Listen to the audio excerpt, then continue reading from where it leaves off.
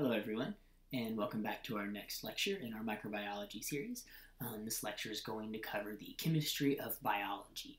So, biological molecules, atoms, um, how atoms are put together, and things like that. So, let's go ahead and get started. So, the first thing to start with um, that we need to talk about is what is an atom. But before we can talk about atoms and what they are and what make them up, um, we really need to talk about matter.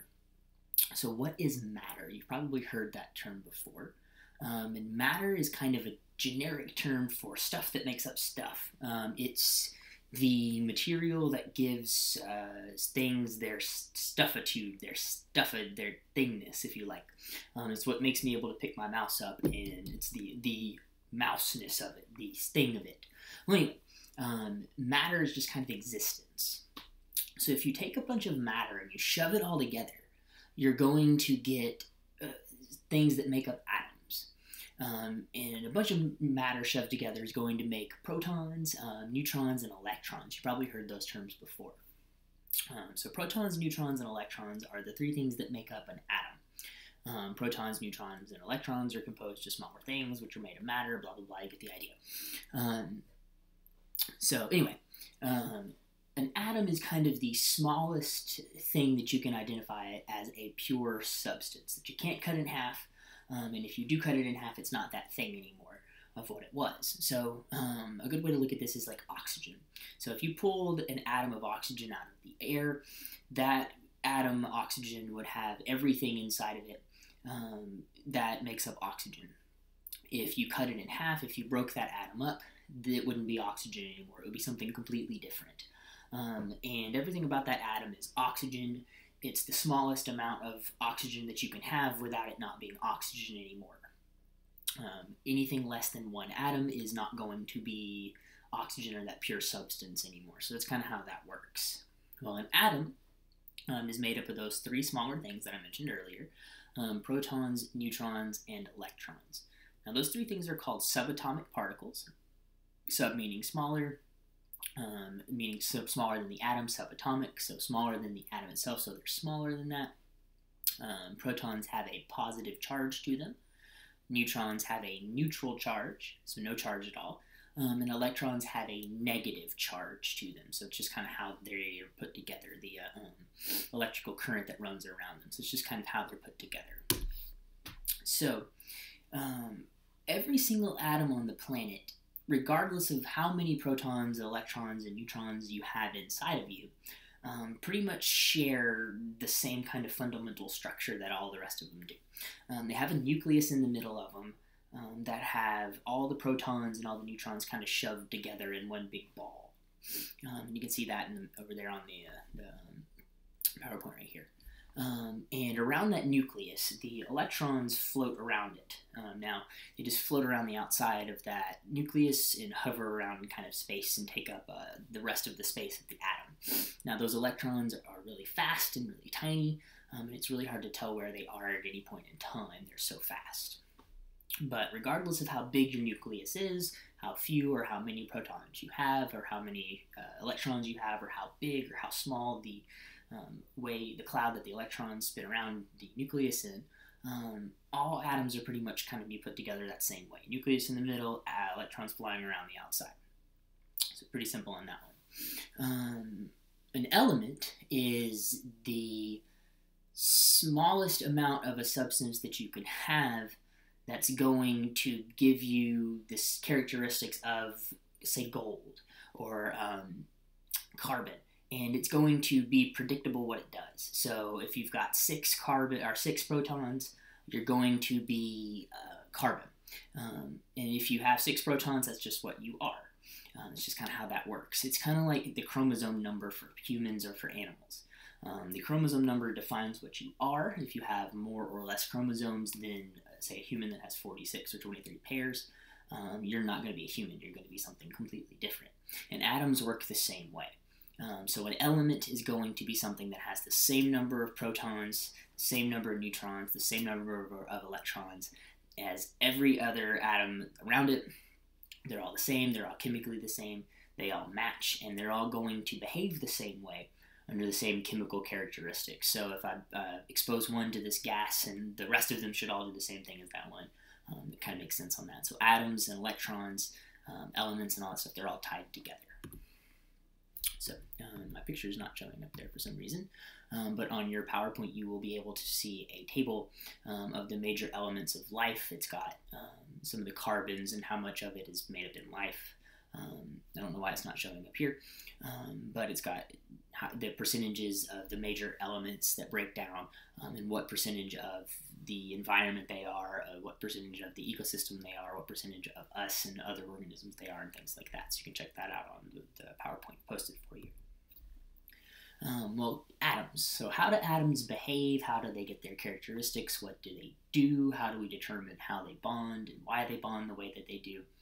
Um, well, that's all determined by how an atom's put together. Um, so you've probably seen the periodic table before with this kind of symbol, um, with the atomic number, the uh, elemental symbol here, the elemental name, and the atomic weight. There's some periodic tables are a little different. These might be in different places, uh, but the idea is kind of all the same. They're uh, what they do. Well, anyway, um, this is the atomic number, and this is going to tell you the number of protons that's in an atom. So this would be like the chromosome count, if you like. Um, the number of protons defines the atom. You have one proton, you will always be hydrogen. You could have 9 million neutrons, 18 gajillion electrons, but you're still going to be hydrogen. You could have no uh, neutrons, no electrons, one proton, and you're still going to be hydrogen. It's just how that works. It's kind of like humans. If you have 43 chromosomes, you could have red hair, uh, brown hair, blonde hair, no hair. Um, you're still going to be a human. It doesn't really matter um, what your chromosomes, uh, what the outside appearance is, what the chromosomes on the inside uh, determine what kind of species you are. Um, and that's the same way that works that an atom works with the proton number. So the number of protons is right here, the atomic number. This also tells you the number of electrons um, as well. So the mass number down here, um, also called the atomic weight, um, is going to be the added up number of protons and neutrons found inside of this atom. Now, in this case, hydrogen doesn't have any neutrons on average, so it's just a proton floating around with one singular electron. Um, so the atomic weight would be 1. Uh, now, in the case of helium, it has two, elect- or, uh, two protons and I think one neutron. The atomic weight would be 3. Uh, so that's kind of how that works. An isotope is a variant version of the normal form of an, an atom. Um, so you probably heard things like carbon 14. Um, so carbon normally has an atomic weight of 12, so it has 6 protons, 6 neutrons, adds up to 12. Um, carbon 14, you can't change the number of protein uh, protons, so it always has 6. That's what makes carbon carbon. Um, it's going to have, instead of 6 neutrons, 8, um, which gives it the, carbon, the uh, atomic weight of 14 instead of 12. Um, so it just has a couple of extra neutrons inside of there. It could have more, it could have less, um, but as long as you have anything different than the average, um, it's going to be considered an isotope. And you can tell if this uh, what percentage of the isotopes are right here. Um, so this is an average of the all, uh, overall average of all of the different uh, hydrogen atoms out there in the environment and this they happen to average out to 1.008 um, on the atomic weight. So some of them out there have neutrons. The vast majority of them do not, which is why it's such a low number. Now, if you see 1. Point like 3 or 1.4 or 1.6 or something like that, a lot of isotopes exist of this particular um, uh, particular element um, that are going to be added together to give it a different atomic weight. So the more isotopes that this thing has, the more common they are in the environment, the higher this number is going to be average. Um, and that's what the atomic weight is, the number of neutrons and electrons that represent isotopes, that different number down here. If it's anything other than 1.0000 forever, um, the little 1.008, whatever this number is, is going to represent the isotopes. That's why it's not a, a whole number. So the atomic weight uh, down there at the bottom, the atomic mass, same thing. They're going to average up all the isotopes. I just mentioned that one. Um, orbitals. Um, it's going to be the cloud that rotates around the electron, uh, or sorry, around the nucleus where the electrons are going to be found. So you can see the nucleus here, um, and these are the orbital shells floating around the outside of that nucleus. Um, so can see in the middle in the orbital shells with the electrons floating around outside of it. Now these are sometimes called energy shells or valence shells. And the number of shells you have um, is very important, and the number of electrons that you have um, are very important when it comes to chemical bonding. Um, so the number of electrons will influence what type of bond you have, who you can bond with, how tightly or how weakly you can bond, um, what if you're going to be a, a, polar bond and things like that. Um, so we'll talk about that in just a second. So um, some biologically important atoms, you're probably familiar with a lot of these. Hydrogen, um, sodium, potassium, calcium, magnesium, carbon makes up most of us. Uh, we're carbon-based life forms. Nitrogen, oxygen, obviously we breathe it. Chlorine, sulfur, phosphorus, things that are biologically important for life. Um, potassium, uh, phosphorus, things that make up uh, adenosine triphosphate, uh, phosphorus, ATP. Um, things that make up phosphate backbones for DNA. Um, so phosphorus, things that make up your proteins, your amino acids, sodium, nitrogens, your nitrogenous bases for DNA. So some of the really important biologically atoms um, you can see right here on this uh, PowerPoint, this slide. Um, you can also see that they're atoms that are very likely to bond. Um, and that's kind of one of our key here. Um, if you're not going to be likely to bond with something, you're going to be an atom that's going to not be very quote unquote useful um, in the sense of biology. If you don't bond, you can't form bonds with things, um, you're not going to be very useful for uh, chemical reactions and things like that. So unless the atom itself, like helium, or uh, neon, and argon, and things like that, um, are actually biologically useful to us as an organism, which they aren't, um, they're not going to really serve much of a function. So we need things that bond, things that don't, so we can break them down, build things up, um, and get them useful for us. So these are once again some of the, the biologically important atoms that are found out there. So let's talk about um, chemical bonding, how chemical bonds form, what they form for, um, how they break apart, and some things like that.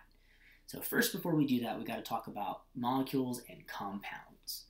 Um, so when atoms bond together, they're going to form one of those two things, either a molecule or a compound. So if you're a molecule, you're going to have one oxygen, one oxygen, one hydrogen, one hydrogen, 14 million hydrogens, 14 million oxygens. They're all going to bond together. Um, and that's a molecule. It's going to be one or more of the same atom bonded together. Um, so that's kind of what that one is. Um, whereas a compound is going to be um, more or one or more different elements stuck together.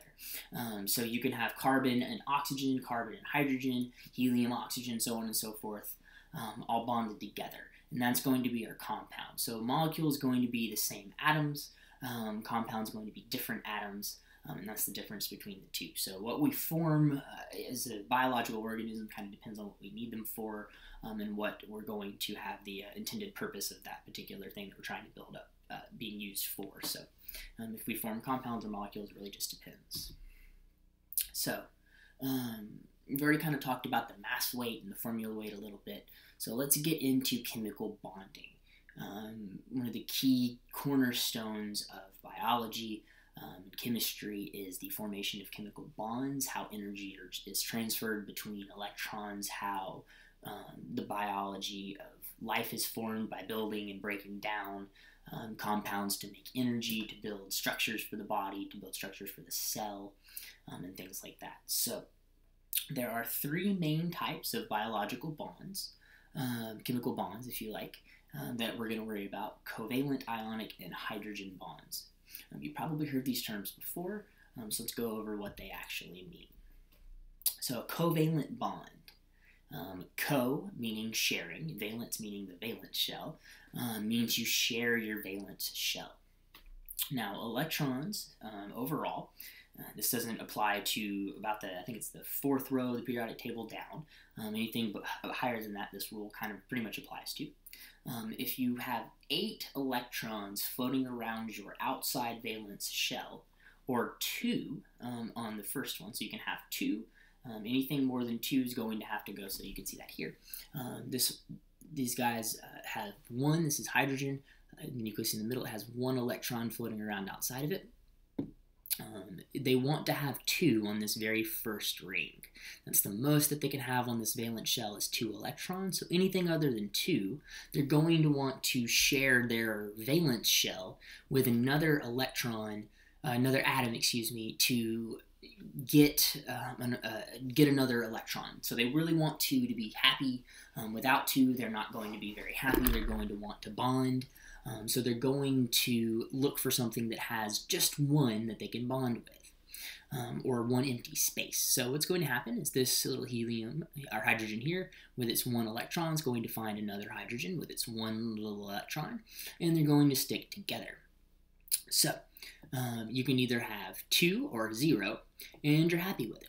So what's going to happen is they're going to share their electrons. So this guy's going to go, I'm going to borrow it for half the time both of the electrons are going to swing around him. They're going to swing back around here, so both of them are over here. So pretend my uh, mouse is both of the um, both of the electrons. You can see them swing around here, and they swing around here. So this one's happy because he's got two. The other one over there is happy because he's got none. And now he's happy because he's got two, and that one has none, and so on and so forth. It's just a continuation um, until the end of existence when these two particular molecules break apart. You can also have more than one sharing of electrons when you have an outer shell.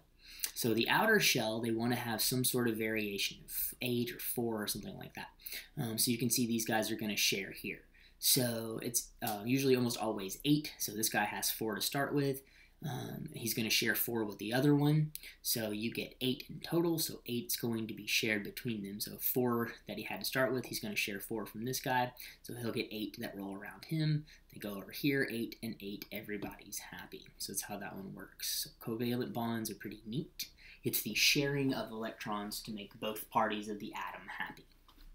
Uh, now, there are two different types of covalent bonds. You have a polar covalent, um, and a nonpolar covalent. And this has to do with the types of molecules and how big they are and how strong they are when they bond. Now, this is really easy to think about if you look at a, um, a, a, racetrack. Um, so, if you think about a racetrack with, if it's like this, um, just a regular circle, what's going to happen is the dogs um, are going to go around at an equal pace. All the dogs are going to go around at the same time. But if the racetrack is more shaped like this, um, what's going to happen is the dogs are going to spend a very short amount of time here and a very long amount of time over here. And that's what happens with atoms when you have a polar or a nonpolar bond. So let's talk about our water molecule here. We have oxygen and hydrogen. Now oxygen is a really large molecule. It's a really large atom, excuse me. It's quite big, really large. Um, and so what's going to happen is when these when it bonds with hydrogen, you can see it's going to share these one electrons right here. So one here and one here.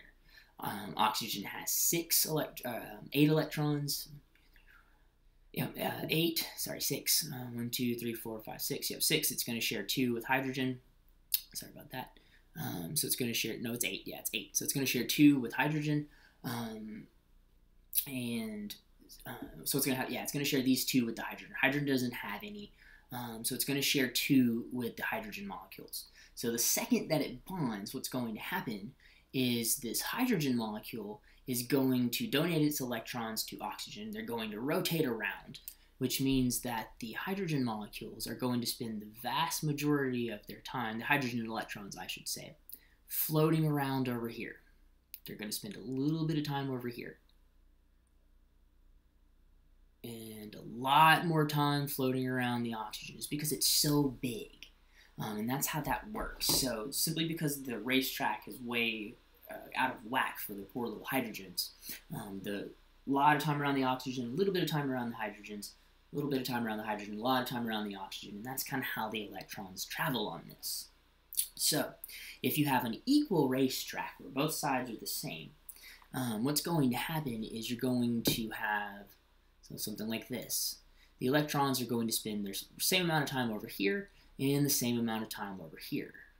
So what's going to happen is when the electrons travel over here, there's going to be a negative charge, um, and they're over here, and a positive charge over here when they're gone. And then when they travel over here, they're going to have a negative charge over here, and then a positive charge over here. So it cancels each other out um, when they travel around.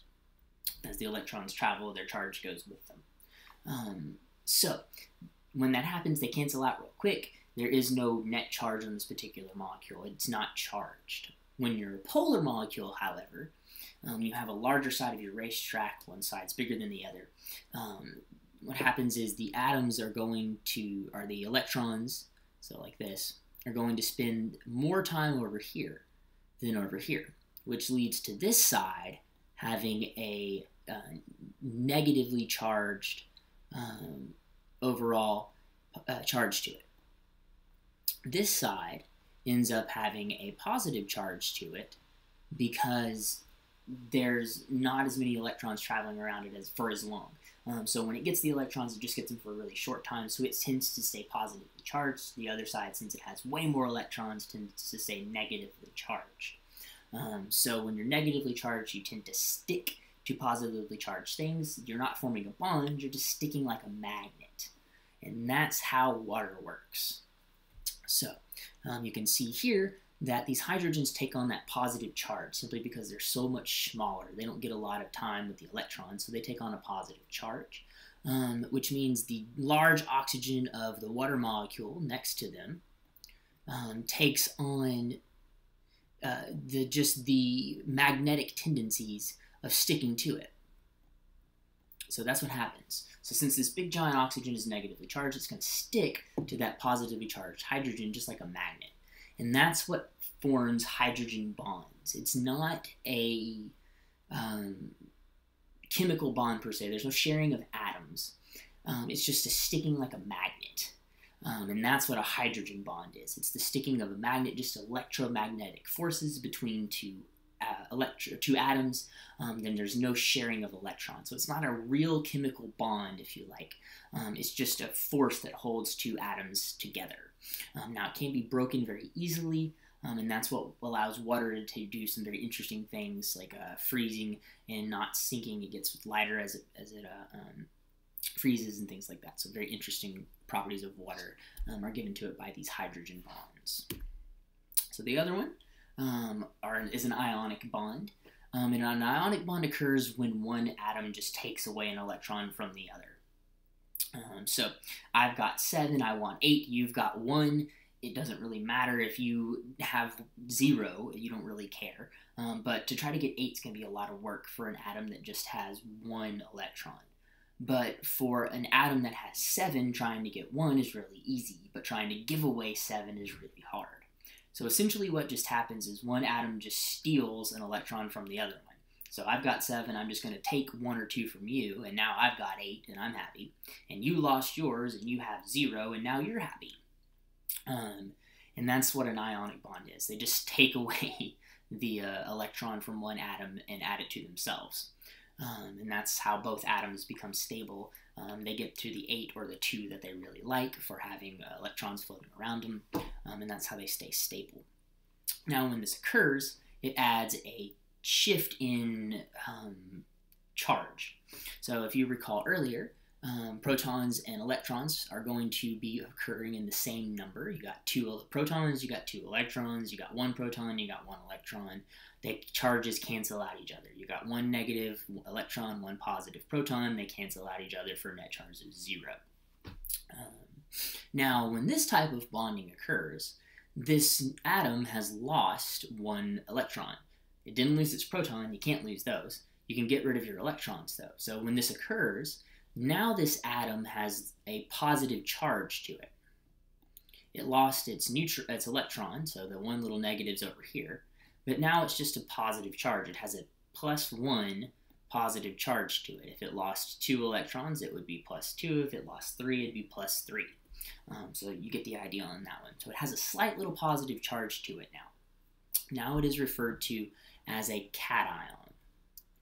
Um, our atom that stole the electron um, now has a plus or a minus one charge to it. Um, it has one extra electron than it normally would have, which means that it has one more negative than it normally does. So um, not enough positives to balance out that negative. So a negative one. It has a slight negative charge to it now. Um, and now that's referred to as an anion. So the ability for these guys to share um, or steal their electrons and become or uh, an anion or a cation really matters when it comes to bonding for these. Um, so very interesting uh, type of bond, just the theft of an electron overall. Um, so you can see ionic bonding here, a very strong form of bond um, that allows uh, things to dissolve and bond inside of uh, uh, salts and crystals and things like that, dissolve inside of water. Um, very interesting type of bond. Uh, so you can kind of understand that that positive and negative, um, since they have that cation anion concept, can be very easily broken down by polar substances. Um, so you can see that positive for our hydrogen here bonds to that negatively charged chlorine and it steals it away. It breaks it apart from sodium chloride, from salt. Um, and that's what allows it, uh, salt to dissolve in the water. It's that ability to break apart those ionic bonds from a polar substance. And that's how salt dissolves in water. Very interesting concept. So we already kind of went through hydrogen bonds. Um, it's just that attraction from a magnetic force. You can see that there. Um, holding two electrons or two atoms together. There are no sharing of electrons. There's no theft or no sharing. There are no true bonds being formed. Um, it's just a an electrochemical interaction um, where two atoms are held together by uh, electrochemical magnetic forces, kind of thing. Uh, now, every single time an atom changes uh, or gets rid of or accepts an atom, um, it's going to have a, a, transfer of energy. Either it's going to gain energy or it's going to lose energy when it does that. So if you get if you get an electron, you're going to gain some energy. Um, if you give away an electron, you're going to lose some of your energy, and that kind of makes sense. Electrons um, they spin around really fast, and as you give them away, you're going to give away the energy that's contained inside of them. So, um, these types of reactions, this giving away energy and this gaining of energy, um, are referred to as redox reactions, and that stands for oxidation or reduction reactions. Um, so every time that an ionic bond forms, there's going to be a gaining or a, a loss of energy from one to another atom. Um, so the cation's going to becoming uh, going to become a, positive charge, which means it's going to give away an atom.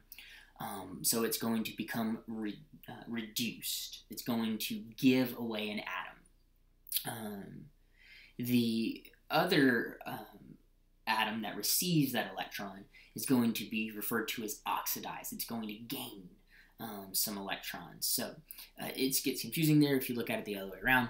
Um, so oxidizing is the loss of electrons, but the oxidizing agent or the reducing the or thing that's being re uh, reduced is going to receive an electron. It gets really confusing on these terms. Um, so uh, the reducing agent is going to give um, a an electron to the oxidizing agent but the oxidizing agent is being reduced by the oxidizing reagent. It's it gets really confusing. Um, so all you really need to worry about is oxidation and reduction overall. So if an, a reduction um, occurs when you gain electrons, oxidizing occurs when you lose electrons. So if you lose some electrons, you're being oxidized. If you gain some electrons, you're being reduced.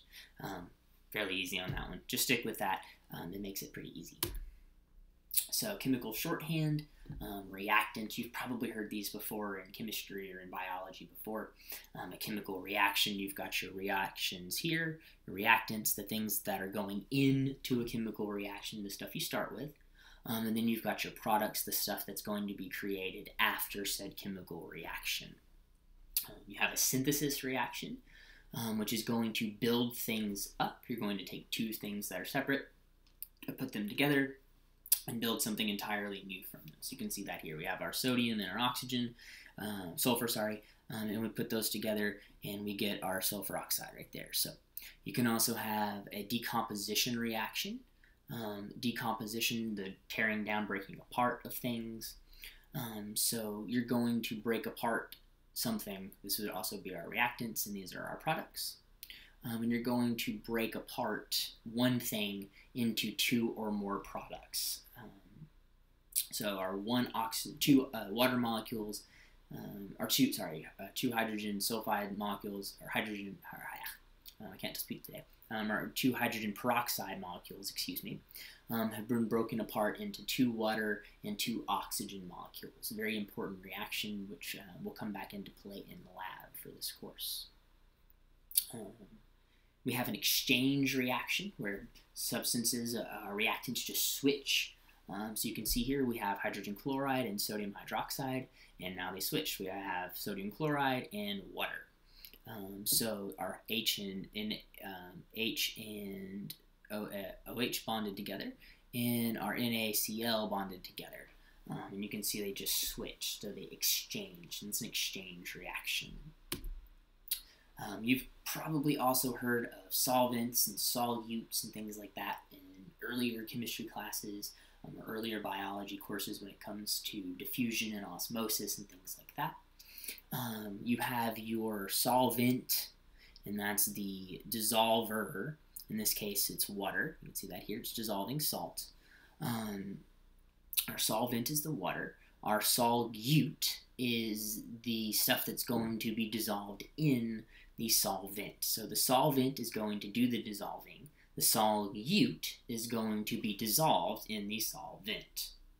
Um, now, once the solute dissolves in the solvent, you get salt water, aka a solution. Um, and that's pretty important in chemistry, having the proper balances, especially inside of the body and things as well. Um, but if you're doing chemical reactions and things like that, it's important to have the proper balances of solutes and solvents um, in your reactions and things like that so stuff works like it should.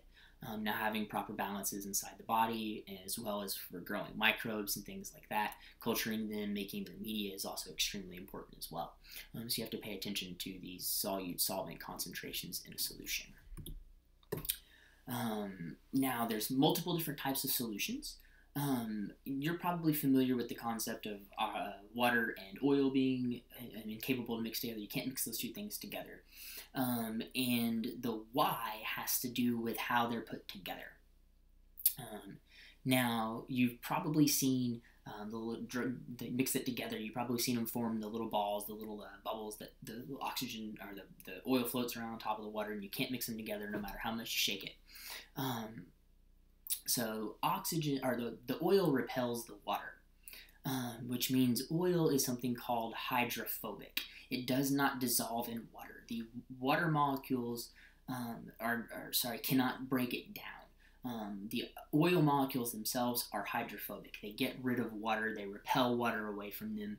The water is incapable of bonding with them, it can't strip away parts of the oil molecules um, so it can't dissolve it. No matter how long oil sits there, it will never dissolve in water. Um, where on the other hand of that, you have hydrophilic um, molecules, things that dissolve in water quite regularly. Um, and this would be things like salt and sugar, um, things that people uh, bake with, cooking things a lot. Um, lots and lots of chemistry things, lots of stuff in microbiology that we dissolve in agar all the time. Um, is going to be hydrophilic, which means it regularly and readily um, dissolves in water. So the water molecules strip away um, the other atoms and things from the the solute, the thing that you're trying to dissolve. Um, so if you're hydrophobic, you won't dissolve in water. If you're hydrophilic, you will. Um, now there are some interesting things out there which are referred to as amphiphatic, um, which have properties of both on the same molecule. Um, oil and water, ha- or oil happens to be one of those phospholipids, um, and it forms a bubble. So the hydrophilic heads that love water stay on the outside, or hydrophobic heads, uh, sorry, hydrophilic heads that stay, that love water uh, um, stay on the outside that can't dissolve. Um, the hydrophobic tails stay on the inside that, that hate the uh, water, and it forms a little ball. Um, and that's what keeps them from being able to be dissolved. Very interesting process. So they have both properties, that hydrophilic and hydrophobic, on the same molecule. Um, and that's referred to as amphipathic. Um, you probably heard of the pH scale before all the time. pH stands for the power of hydrogen, um, and that refers to how acidic or how basic um, a solution is. Now, what that really refers to is how much hydrogen or how much OH hydroxyl ions um, are found inside of that solution. So, the more hydrogen ions that a solution has in it compared to anything else, the more acidic it is. The more OH um, that it has compared to anything else, the more basic it is. Um, so, the pH scale ranges from 0 to 14 um, based on the uh, pH uh, are based on the concentration of hydrogen ions. Um, it's a log, um, so it goes up at a very set scale, a base set scale um, from zero. So if you have, if you're a, a very acidic solution at zero, you have the um, maximum amount of hydrogens that you possibly can have in you. Um, very acidic, it'll break down anything in, pretty much in the world. Um, if you are a pH of 1, you have a set unit below that of hydrogens, 2 set unit below that, and down to 7. And 7 is considered neutral, where the number of OHs and the number of H's balance each other out. So you have 5 OHs, 5 H's, they balance each other out. Now a pH of 0 can have 14 quadrillion H's, and it can still have a couple of OHs in there. It can have quite a lot actually, but the number of H's overall is just so great that it still classifies it as a zero. The farther you get down to seven, the more those numbers balance each other out until you get to a seven and they counteract each other. There can either be zero H's or zero OH's, or they counteract each other and they the, there's 14 million, 14 million, and they're uh, overall just zero. So it really doesn't matter. Um, but the farther you get away from 7 to 14, the more OHs there are in this exact same way. It goes up in the same base scale. Um, and that's how that works. So, very acidic solutions, things like uh, battery acid, stomach acid. Um, on the other end of that, you have the um, things like soaps and detergents, very slippery, slimy substances. Um, that's kind of the easiest way to tell them apart. So, you can see here our base scale um, is just a base 1 um, of how this goes up, and you can see the type, the loss of hydrogen molecules as you go up, and how many there are um, in each pH. So super cool. Uh, check that one out and dig a little deeper if you want into the pH scale. So the last little bit of this lecture is going to finish up with organic versus inorganic molecules. Um, what makes up the human body as well as microbes, um, what are they, how are they put together, um, and how do they work. So let's go ahead and dig into that one real quick. So, organic versus inorganic molecules. You probably heard these terms before. Um, organic versus inorganic. So, we're going to talk about organic molecules, being this is a microbiology course. Organic usually refers to things that are produced or associated with living organisms. Um, so we're going to kind of gloss over the inorganics real quick. Inorganic molecules are usually quite small. Um, they don't really have a lot of atoms in them. They're almost always bonded ionically, whereas uh, organic molecules, on the other hand, can be quite large. Um, they will always contain carbon and hydrogen and bonded together. It will always be there no matter what. Um, and they're almost always, always, always going to be covalently bonded. Um, and that's kind of the characteristics of organic versus inorganic molecules. Um, so we're going to focus on the organics being as though they're associated with living organisms, um, and the inorganics, things like water, ammonia, and, uh, ions, and things like that. Um, we're going to gloss over those. So there are really only four types of organic molecules um, that we're going to focus on for this course. Carbohydrates, aka uh, sugars, uh, things like that, lipids, which are fats, proteins, which you find in nuts and uh, meats and things, um, nucleic acids, DNA and RNA, um, and the things that make them up. So, um, if you look at a brick wall, um, you'll see that the brick wall as a whole is a big giant wall, but it has small little building blocks that build it up, each one of those little individual bricks. Um, and that's kind of the way that biological molecules work the same way too. Um, you have the overall brick wall, aka the overall, overall carbohydrate or the overall lipid or the overall protein. Um, but there are smaller things that make up each one of those carbohydrates, each one of those proteins, each one of those nucleic acids, and things like that. um, called a subclass molecule. Um, so we're going to talk about what the molecules are, um, what the subclass molecules are, and kind of what they're useful for in a biological sense. So a carbohydrate. Carbohydrates. This word's super easy. Carbon, water. Every single two hydrogens, one oxygen, H, 2, O, has a carbon bonded to it, carbohydrate. That's what a carbohydrate is. You can see four of them up here in the corner. Um, every single one of our carbons, right here, sorry, sorry, I'm doing the wrong one, has a water bonded to it. Carbon, water bonded to it. Carbon, water bonded to it. You get the idea. Um, and that's what a carbohydrate is. That's on paper the definition of a carbohydrate. Um, now, what makes up a carbohydrate? What are they useful for? What do they do? Um, well, the subclass molecule, the smallest form of a carbohydrate, that's literally the definition of a carbohydrate that makes up the carbon hydrogen thing, is something called a monosaccharide. Um, it's going to be a very simple sugar that contains three or four carbons in it, usually three, um, and you can see them right up here. This is glucose, a monosaccharide, mono, meaning one, saccharin meaning sugar. So one sugar molecule. One sugar molecule. Here, fructose, one sugar molecule. Those are monosaccharides. Glucose, fructose, galactose, ribose, deoxyribose, things that make up DNA and RNA, um, are other forms of monosaccharides. Now, monosaccharides are usually super sweet to the taste. Um, they're really easy for the body to break down. Um, if your body or other organisms, microbes in particular, have the choice of eating carbohydrates, lipids, proteins, and all that stuff, they're going to break these down first. So if you gave them a candy bar that has four pieces of carbohydrates, lipids, proteins, nucleic acids in equal amounts, and they ate it all at once, um, the carbohydrates are going to get broken down first. It's the greatest source of energy, um, easiest thing to break down, um, and that's what the body and most microbes and things are going to go after first if they can um, just because it's got so much energy and it's so easy to break apart. Um, so it's usually really sweet, these monosaccharides, um, because they have, they're so energy rich that you know our bodies kind of evolved to eat them. Um, seek those sweet things out because they're so rich in energy. Our body uh, seeks them or programmed to taste, taste them as sweet. Um, they don't last very long. Um, our body breaks them down quite quickly, which is why if you eat a big meal full of noodles and something, you're usually quite quick uh, hungry quite quickly afterwards because those carbs, uh, carbs go away. Um, a disaccharide um, is going to be two monosaccharides bonded together. So you can see our glucose here and our fructose here, and the little bond in the middle holding them together. Um, that's sucrose now. Uh, table sugar, sucrose, that's a disaccharide, di meaning two, saccharide meaning sugar.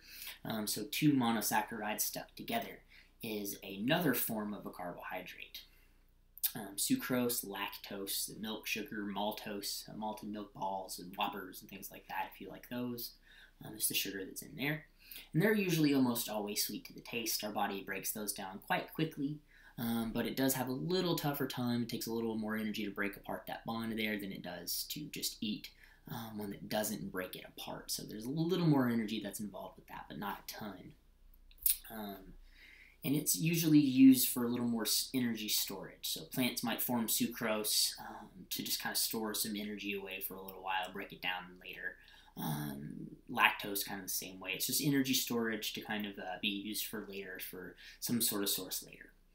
Um, now, polysaccharide is kind of the big end game for carbohydrates. Polysaccharide is going to be one, two, three, four, five at the very minimum strung together carbohydrates, monohydrate, or uh, saccharides. So one, two, three, four, five. At the very minimum, monosaccharides strung together in a big long chain. Um, so polysaccharides are usually not going to be very sweet to the taste. Um, they're almost always going to be used for energy storage. Um, things like starch in the form of a potato. Um, you know, they the plant eats the potato when the environment goes bad. It, breaks down all that starch um, and it just stores it down there um, in that giant tuber underneath the ground until it needs it. Um, or structural support, forming things like chitin, cell walls for fungus and mushrooms. Um, the cell walls, uh, or the exoskeleton of insects, is formed out of chitin. cellulose, the structural support in plants, how they stand upright. Um, cellulose and structural support molecules and things like that. Polysaccharides are very strong. Um, they don't break down very easily. Um, if you've ever tried to bo- uh, boil starch and put it into water solution, it's awful. It does not want to dissolve. Um, so those things usually don't taste very good, and they're almost always going to be used for something other than um, an energy source instantly, a very quick energy source. Um, they're going to be used for storage and breaking down later. Um, now, interesting to think about if you eat a potato, which is literally nothing but starch, they taste good. Um, so when you break, uh, when you cut that potato up and you fry it, what happens is you break apart those long chains of polysaccharides um, via the heat and the frying into little small monosaccharides and disaccharides and things like that that are sweet. Um, so you start to produce monosaccharides and disaccharide sugars when you break apart the polysaccharides with all the heat of the frying, and that's why French fries taste good. So interesting little tidbit. Um, our next one's going to be a lipid. You know these as fats, pretty common. Um, they're going to have way more carbons, way more hydrogens than they do anything else. And that's the key word of a lipid there. Um, they're also going to be nonpolar and insoluble in water. You cannot dissolve lipids in water. That's just kind of one of the sad facts of biology. It's just not going to happen. Um, that's how they're put together. So, simple lipids um, can have one carbon, one hydrogen, and one oxygens. Um, just like these kind of size, simple guys. And then you can have triglycerides, which have three fatty acids linked to a glyceride molecule. And this is a, uh, um, typical fatty or triglyceride. So we've got our fatty acid, one, two, three of them, linked to our glyceride here. So these are a little, um, a little more complicated. Now, what's really of interest here um, is going to be saturated versus an unsaturated fat. Now, this refers to nutrition and how the um, organism is going to break these down, how much energy is going to be required to break apart these types of fat. Um, now, you can see here a saturated fat um, if you have your little glyceride heads, you get the little lipids that hang down, the little fatty acid tails. They're going to be straight lines. Um, saturated fats, they have the maximum number of hydrogens bonded to everything that they can. So every single carbon has one, two, three, four hydrogens bonded to it, or as many bonds as it possibly can form. The num- maximum number of bonds in this is bonded to it, and the maximum number of atoms it can hold are there. So it is saturated with hydrogens, um, pretty much how that goes. If your body tries to break this down, it's going to take a lot of energy to break apart all those hydrogens uh, from the carbons. It's going to take a ton of energy to do that. So your body would much rather go, eh, I'll just eat some carbohydrates. If you eat a lot of carbohydrates and a lot of saturated fats, your body doesn't need to break down the saturated fats, so it throws it away for storage um, and just breaks down the carbohydrates. So the saturated fats get passed over, um, which is why they're so bad to eat in our diets. An unsaturated fat, on the other hand, you can see down here, um, is missing two hydrogens. So they should be right there, but they're not. So the fact that it's missing those two hydrogens leads to it having a slight kink in it. You have one tail that's straight and one of them that's not, um, because of that bond there um, that's missing. So the double bonded carbon um, causes that slight kink. Now, when it's missing that kink, um, it means that it doesn't uh, sit together as closely to its neighbor as it should. Um, it's got a little, um, it's kind of holding its elbow out so people can't get as close to it if you like. Um, so not, things aren't packed quite as tightly together. Um, so if your body tries to break this down, it has a little easier time breaking it apart because there's not as many bonds in it. So your body will go for an unsaturated fat over a saturated fat to break it down for an energy source all day long. Um, how do you tell these things apart? Saturated fats are solid at room surface temperature, things like butter or Crisco, and unsaturated fats are things like oils, vegetable oils that aren't solid or that are that are liquid um, at room temperature. Why does this matter? unsaturated and saturated fats, um, saturated lipids, the uh, phospholipids and things make up the surface of our cell membranes. Um, the concentration of saturated versus unsaturated makes the cell membrane fluid, uh, makes it able to float around and move around, and that makes uh, that's kind of how our cells work. Very important to that. We'll get into that stuff later in this course. Um, so complex lipids have fatty acids and glycerols, as well as other stuff bonded to them. Um, carbons, hydrogens, and oxygens, other elements, and things like that, like phospholipids that have phosphorus added to them, um, and things like that. Um, so phospholipid in particular, um, like I just mentioned, has our phosphate group up here and two fatty acids. It can be either one uh, saturated and one saturated here, or in this case, one saturated and one unsaturated. So you can have either. It really just kind of depends. And that makes up our cell membrane, um, as well as the cell membrane of every other cell on the planet. And that's kind of one of the key characteristics of all cells. They all have a cell membrane. We have sterols, um, which are four fused carbon rings with lots of functional groups. You have cholesterols and things like that um, that are stuck inside of our cell membranes that allow it to be a little more fluid um, and things like that. It helps add a little bit of rigidity so our cell membranes aren't going to fall apart. Um, they're technically classified as lipids because they don't break down in water. Um, and that's kind of where that comes into. They're not lipids in the sense of uh, carbon and hydrogens bonded together as big long chains, um, but that's why we uh, put them in there because they're insoluble in water. Now, our next one are proteins. You're probably familiar with proteins. Um, if you eat meat, that's where you're getting your proteins from, or nuts and things like that. Um, that's where proteins are going to be found a lot in nature. Um, what is a protein? Well, a protein is, if you ask, uh, if the protein is the brick wall, um, the subunits that make up our proteins are going to be amino acids. Um, so amino acids, amino acids, amino acid, amino acid, big long chain of amino acids all stuck together makes up a protein. Um, and that's what a protein is. Subclass molecules, amino acids, stick them all together, you get a protein. Now, um, there are 20 amino acids, and you can see them all right here. Um, here's the name of them, here's the structure, and you may notice that this little structure right here remains the same for all the amino acids, regardless of which one you are. Whereas these structures down here, these are called side chains or the R group, they all are different. The top part is what makes an amino acid an amino acid. That's kind of like what makes a car a car is having an engine, four wheels, and a door, um, or doors. But it doesn't matter what color, what you know, if it's a truck or a van, it's still a car. Um, this is the four wheels, the engine, and the doors. This is the blue the van. This is the green truck. This is whatever variation it is that makes that amino acid a specific amino acid, or the Ford a specific Ford, or blah blah blah. Um, you just have to have this top part right here to be considered an amino acid. There are 20 different forms of amino acids. There are more than that. Um, but there are 20 that are considered essential for life on the planet. Um, every single living organism must have all 20 of those amino acids that we're aware of to function.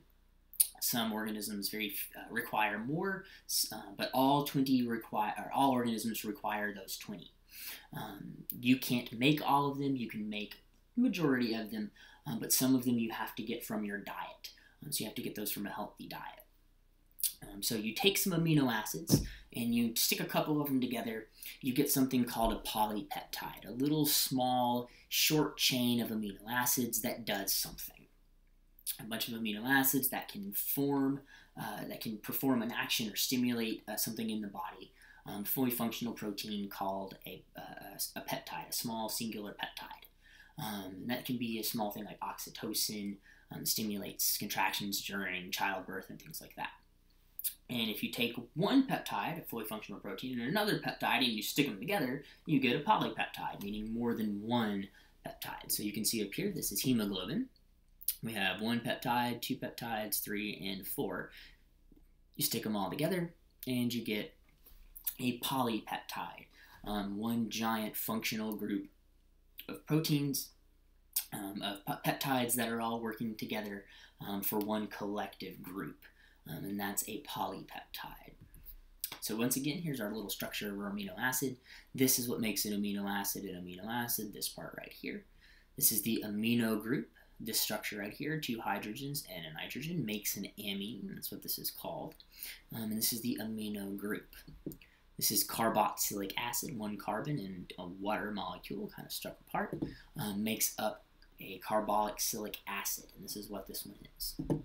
Down here is our side chain. This is what changes. This is the, if it's a Ford, a Lexus, a know, Porsche or whatever it happens to be. Four wheels, doors, and our engine, and that's the car part up here. This is what makes the amino acid the amino acid.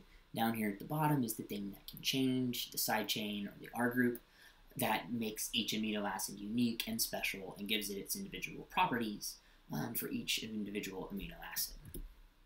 Now, how do you form a protein? Um, well, proteins are made in ribosomes. So the ribosome has this long chain of mRNA out of the other side, and proteins come in, or amino acids come in from one side. Um, the correct amino acid comes in from the mRNA, lines up, and it puts it together, and it spits out the other end. Complicated process. Get into that later. Um, anyway, um, so the way that they come out of the ribosome matters. Um, each particular amino acid is either going to have a positive or a negative charge to it, and the way that those charges come out in order matters for the way that the protein folds. Um, you want a protein to fold in the proper way, in the proper uh, order, with the positives and negatives interacting in the proper formats and proper ways, so the protein works the way that it should. Um, if the protein doesn't work the way that it should, it's just a waste to make, it's biologically useless, um, it just costs a lot of energy. So you want to make sure that it's put together the way that it should. So um, proteins are folded, like I mentioned.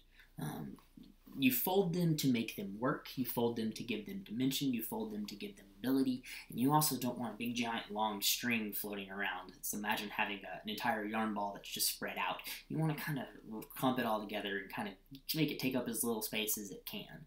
Um, it also keeps the chances of getting broken uh, reduced as well. well anyway, um, when protein comes out of the ribosome, the positives and the negatives come out in the correct order. Um, and when it does, the positives, if they're here, will stick to the negative in the correct order, the next negative. And then that negative will stick to a positive, and it'll start folding as it comes out of the ribosome in a very distinct way. Um, it's put together in a proper way. The uh, DNA knows how to do all that stuff, and we'll get into that later. Um, but as it's put together, it folds. Now, there's four levels of protein folding. Um, as the ribosome produces the RNA, or uh, produces the uh, protein, excuse me, the first little bit of it that comes out is going to be a big straight line, and that's going to be considered primary structure. And you can see that down here. This protein does not work. It doesn't do anything. It's just a big yarn ball um, that's been uncoiled and thrown in the floor. It doesn't do anything. Well, as it starts to come out, the positive here will stick to the negative right there. So it'll start to fold back a little bit on itself. And when it does, it's going to form one of these kind of structures as they start to fold. And that's called a beta pleated sheet. It looks kind of like the um, little, uh, if you ever made one of the um, little dolls out of the uh, brown paper bags with the accordion legs um, in elementary school, that looks like their legs. Or as it starts to come out of the ribosome, it will curl and form an alpha helix, a single helical helix instead of a double helix, a beta helix or sorry, a double helix. Um, it'll form an alpha helix, a single helix. Um, so it really just depends on how that works. So that's secondary form folding. Primary is a straight, uncoiled line of amino acids, whereas secondary has a slight curl or curve or a kink to it, kind of like an accordion. That's secondary folding, beta pleated sheet. Now these proteins don't work yet either. You can see it down here. This secondary structure. And they're not functional yet either. We have to go up to tertiary structure where these beta pleated sheets and the uh, alpha helixes start to curl back on one another. So as the ribosome grows, the uh, amino acid chain, the alpha helixes, the beta pleated sheets and stuff will start to get so long that they curl back on one another. And the alpha helixes stick to it here, and the beta pleated sheets and things, they start to form uh, giant long complex connections as the protein grows. Now, eventually, what will happen is this little protein will stop being produced, the ribosome will let it go, and you'll have a big blob of functional alpha helixes, beta pleated sheets, and stuff all put together floating around inside of the cell. And that's considered tertiary structure. Those alpha helixes, those beta pleated sheets all stuck to one another, all folded back upon one another, and that's a fully functional protein. It can do something now. It can work as an enzyme. Structural protein, transport protein, it can do something now for the cell. And then if you have a protein in quaternary structure, you have one of those fully functional proteins that's all blobbed up in tertiary structure, and another fully functional protein in tertiary structure that's all blobbed up, and they stick together to form a giant ball of fully functional protein, aka hemoglobin. Same kind of idea. Um, so that's just one or more fully functional proteins in tertiary structure bonded together. Um, it just allows the cell to function and do more things um, than it could have by itself with one protein. So four proteins are stronger than one. You get the idea on that. Um, now, proteins um, are sensitive little things. They can be broken apart quite easily. Um, and this is kind of what causes death a lot of times. This is how we kill microbes. This is how um, we kill them in the washing machine, when you kill them when you're boiling them, and things like that. Um, heat, pH, UV light, radiation, all of these things break apart the peptide bonds that hold the amino acids together. So if you're all holded, folded up in the proper way, all the positives and negatives are properly aligned, and somebody hits you with a bunch of heat, and all those positives and negative all of a sudden just fall apart, and they fold and they unfold and they just loose together.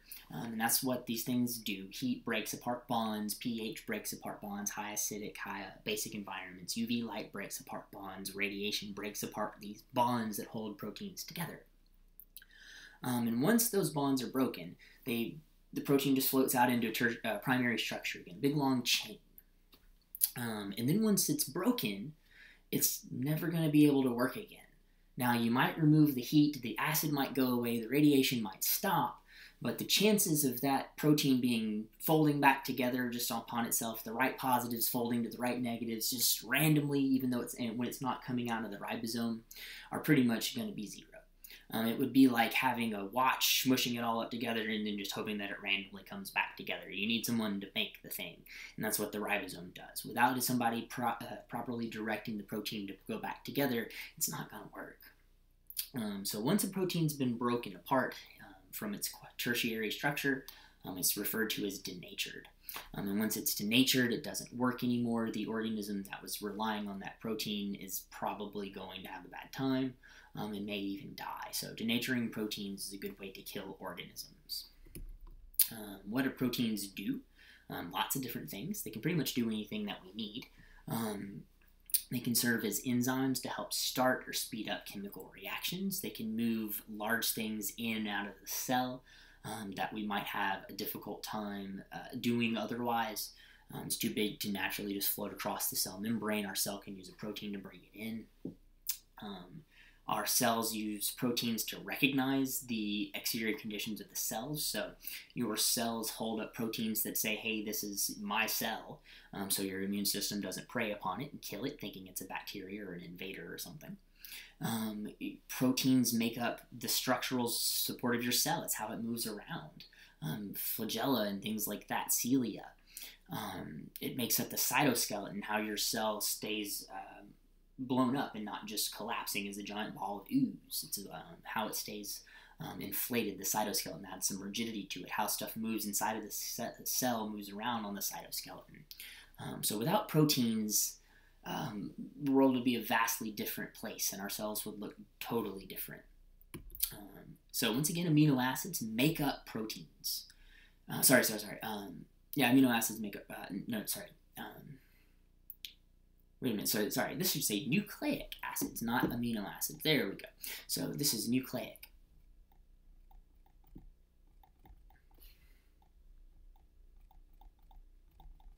There we go. So nucleic not acids, not amino acids. So um, amino acids make up proteins. Nucleic acids are a totally different thing.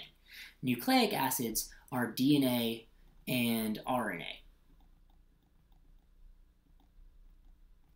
So nucleic acids um, are going to be found in every cell on the planet. That's one of our characteristics of living planets. They have our living cells. They have ev- both DNA and RNA inside of them. Um, viruses have one or the other, but not both, and that's one of the characteristics again. So there's two forms of amino acids, DNA and RNA. Pretty easy on that one.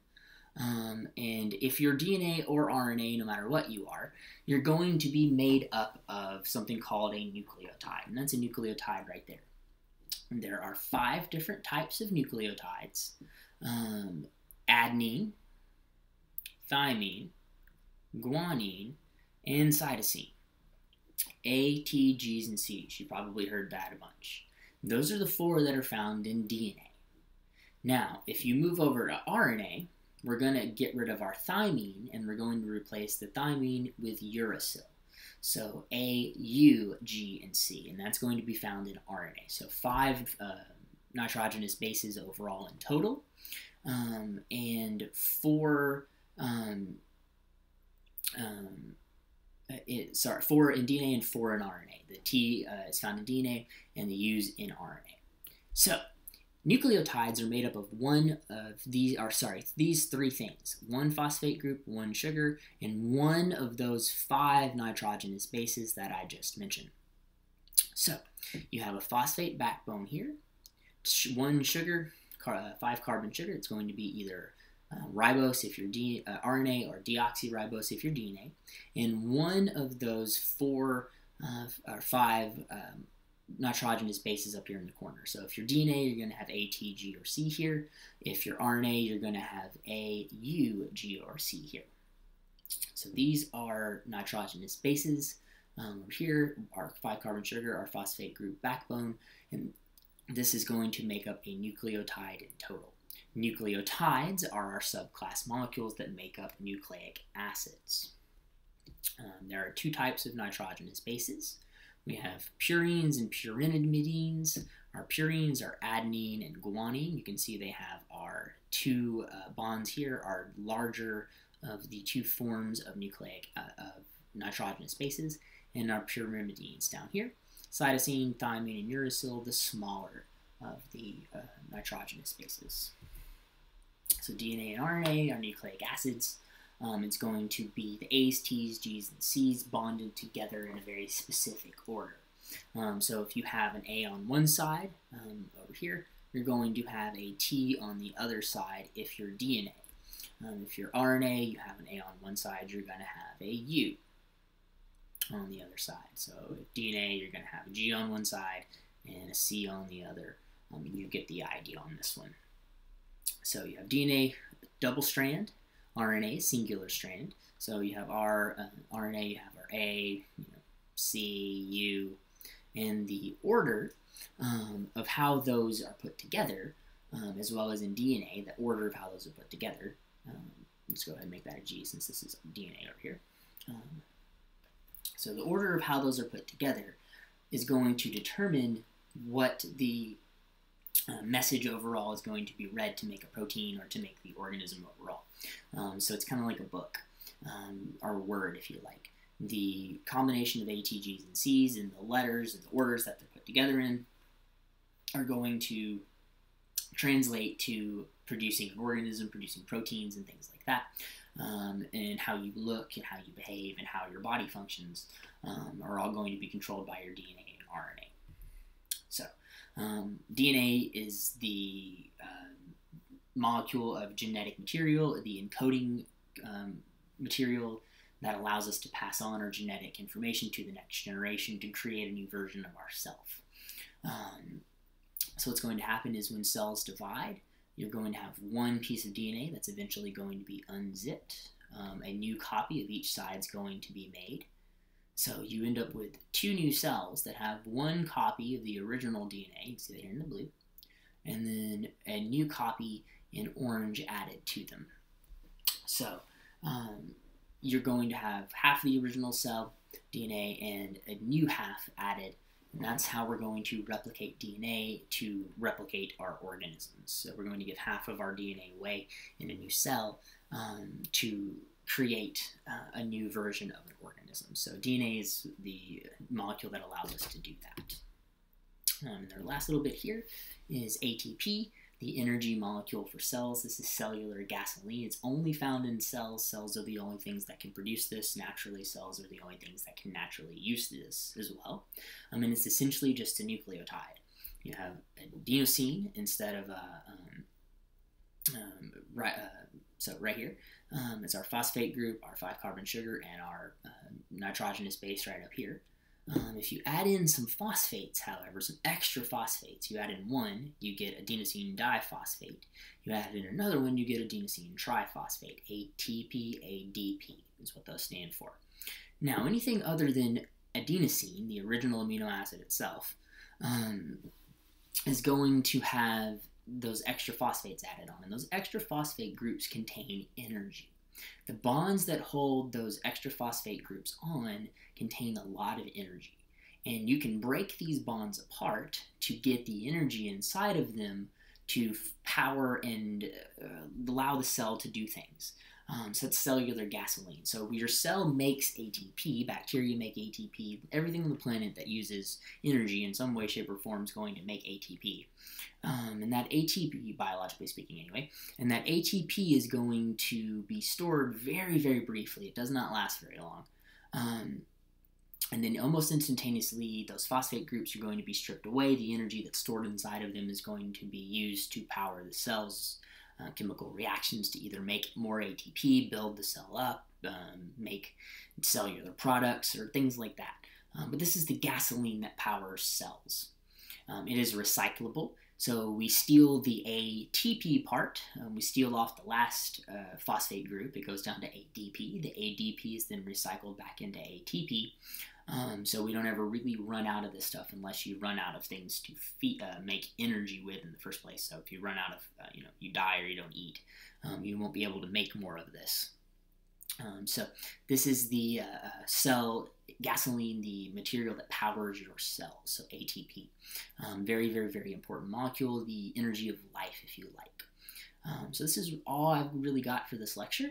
Um, if you have anything else you'd like to discuss or you have any questions about this, please feel free to let me know. Send me an email, reach out.